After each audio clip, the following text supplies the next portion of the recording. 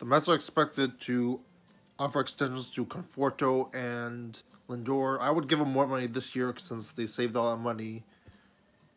And to save up money for additional years. Worth awesome subscribe. Conforto's good. Uh, Lindor, I don't know if you can play in Citi Field with fans. Worth awesome subscribe.